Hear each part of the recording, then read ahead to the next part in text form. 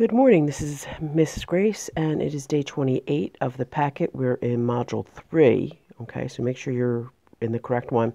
What's going to be due today is the second set of sentences that's already in your fourth quarter grades tab. If you look down, all you have to do is click where it says type here, and you should be able to um, create your sentences. It seems to be working. I've already graded people who have done the first one so it seems to be working fine. All right, today what you're going to be doing is you're going to be reading Mariana Trench. Now, if you're working from the paper packet, I can't read this, I, I have to be honest. Um, what I suggest you do is you either go into the slides that are connected with today's work, or you go into the tab that says the anchor materials, and I have a PDF file in there where the pictures are in color, everything's much clearer. Um, if you're trying to work from the paper packet, you might have to go to HMH, uh, Ed Your Friend, and try and see it there because um, the paper packet, I, I simply can't read. All right, so one of the things that you're going to be doing today is you are going to be doing the collaborative discussion. This extra stuff down here, I'm not assigning that uh, I am assigning the collaborative discussion up here. So when you're reading, the questions I want you to be aware of is says review page 22, so you know to go to page 22. What comparisons do the authors use to explain the size and depth of the Mariana Trench?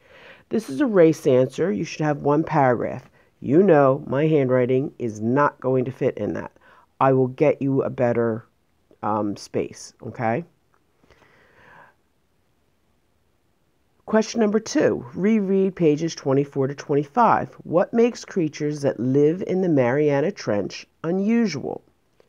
Again, this is a RACE answer. Restate, answer, cite, explain, or extend.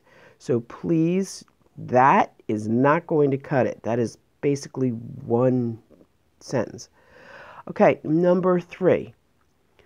What are some of the ways that scientists have explored the trench? Why is it difficult to do research there? This one's sneaky. This is two separate questions. What are some of the ways that scientists have explored the trench? That's one answer. Why is it difficult to do research there? That's the second. So even though it looks like one question, it's actually two, and I would take them separately. So today you have one, two, three, four answers to write, four paragraphs to write. So, this is how I would do it. Make sure that you either go read um, your HM, read the uh, slides, or go to HMH, Ed Your Friend, and click the audio so that it reads to you. And then I would try and tackle these questions because there's no way to tackle these questions without having read the whole article first. All right? This, I'm not, because you already have four paragraphs to write, I'm not assigning this. All right? Just skip this part. All right? Have a good morning. Do a good job on the sentences.